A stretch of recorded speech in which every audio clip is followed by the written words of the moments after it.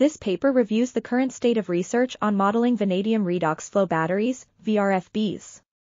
It examines material development, crossover mechanisms, and electrodes designed for different flow fields. The authors also propose an operational strategy that considers the parameters of capital cost, operation and maintenance costs, and grid services.